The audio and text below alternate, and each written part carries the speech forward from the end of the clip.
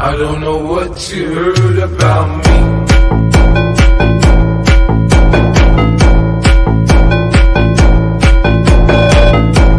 This is Rhizome T, Eugene and Mo. I don't know what you heard about me.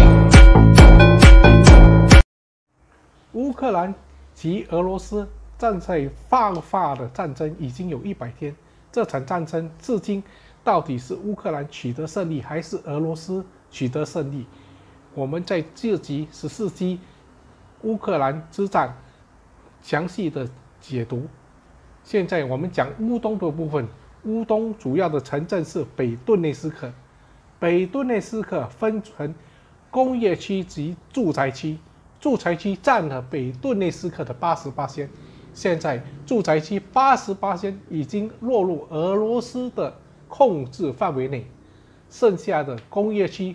就是北顿内斯克的二十八仙，是乌克兰紧守的部分。现在乌克兰坚守乌东的部分就是北顿内斯克及利西昌斯克这两个重要城镇。因为当这两个重要的城镇失去落入乌俄罗斯的手中的时候，乌东的总司令军事指挥所斯拉夫扬斯克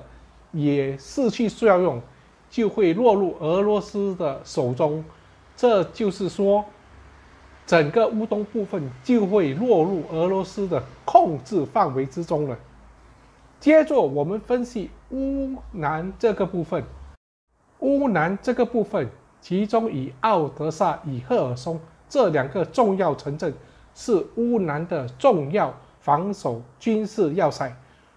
如果奥德萨与赫尔松这两个重要城镇也落入俄罗斯的掌控之中，俄罗斯就把乌东、乌南加上克里米亚就扩展成为。俄罗斯在东部的一个扩展领土的部分，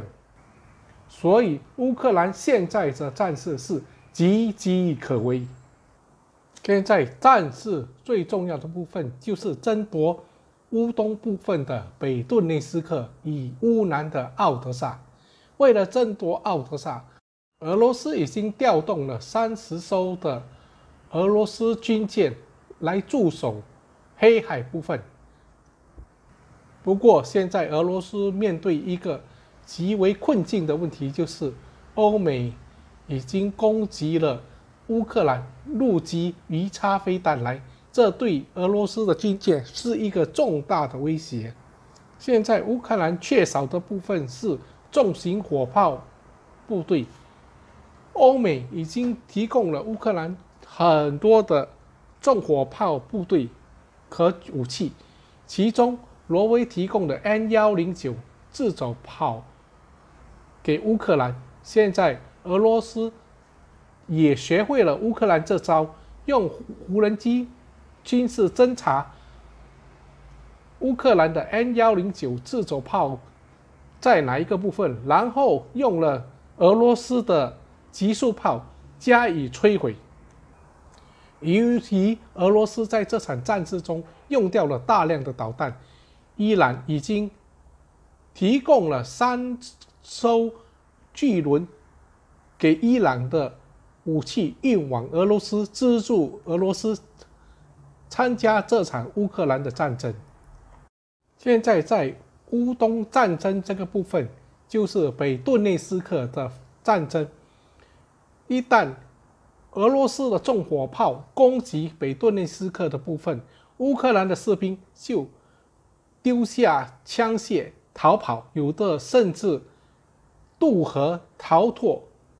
整个乌克兰的士兵士气十分的低落，因为这些乌克兰的士兵基本上都是一些由居民抓来当民兵的战时的军队，他们完全没有作战的经验，有的连开枪都不会。他们我让运往前线。战壕参加乌东这场战争，十分的害怕，所以一旦俄罗斯重火炮攻击北顿内斯克的战事发生，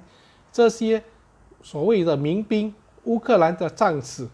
就丢盔弃甲，马上跳河逃跑了。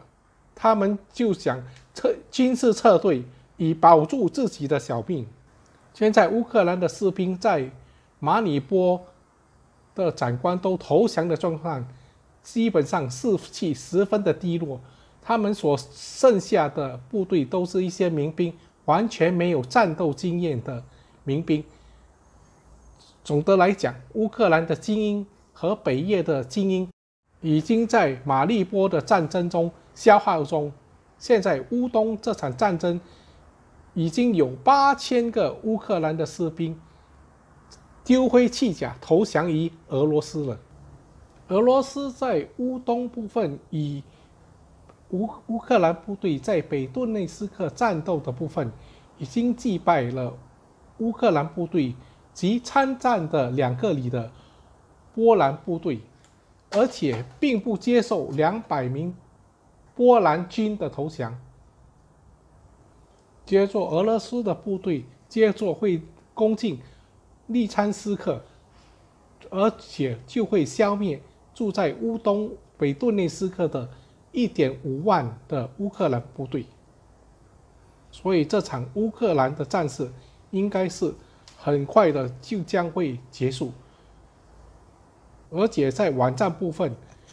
泽卢斯基。乌克兰已经将美国及北约所赞助的武器在网上拍卖，听说现在行情是刺针飞弹在网上拍卖是三万美元，而且步枪拍卖的行情是五千美元。更有在 TikTok 的网站有播出乌克兰部队把美国提供的洞洞洞火炮部队的武器及刺针飞弹等武器卖给俄罗斯部队，让俄罗斯来进攻乌克兰。乌克兰基本上来说是一个贪污的国家。现在更有传闻，泽洛斯基以波兰密谈，将乌克兰的领土割让给波兰，以自己赚取暴利，让波兰来巩固领土。所以现在乌克兰的士兵也觉得不懂自己是为何而战，自己的国家已经领土不在了，所以更有传闻说，乌克兰的军事人员、军官等正在密谋，要发挥一场斩首行动，斩首泽罗斯基。所以这场乌克兰的战争应该是很快就会结束。我们在第十五集的《普京之乌克兰之战》，普京战胜，再见！谢谢大家收看第十四集的《普京战胜》，谢谢大家的收看，再见。I don't know what you heard about me.